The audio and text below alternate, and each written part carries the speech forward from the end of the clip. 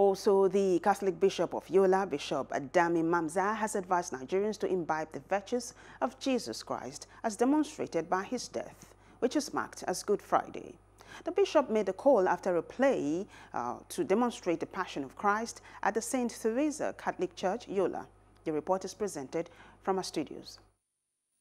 Today, Christians all over the world mark Good Friday to commemorate the death of Jesus Christ on the cross of Calvary. In Yola, in Adamawa State, members of the St. Theresa Catholic Church arrived the premises to watch the Passion of Christ, which demonstrate the sufferings of Jesus before his death.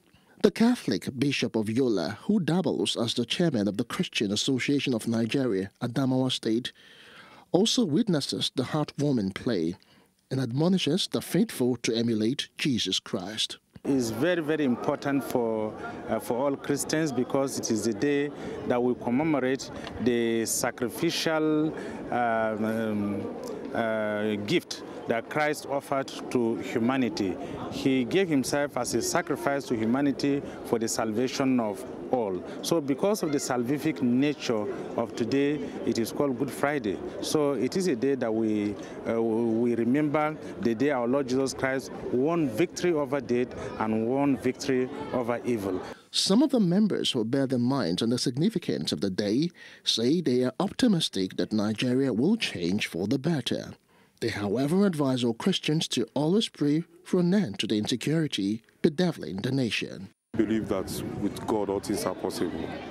With this season of Lenten season, every Christian used to play. And I so much believe without these prayers that every people have done, we surely bring peace in this our country, Nigeria. I will believe so that God Almighty will hear our prayers. All things are possible, and everything you do, you put God first. So we believe throughout this Lent season, by His grace, I believe things will work out good. And we strongly believe by, that our prayers have been answered. So, despite its name, Good Friday is a day for sober reflection.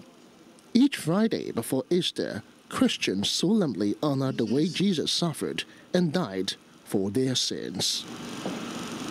It is finished.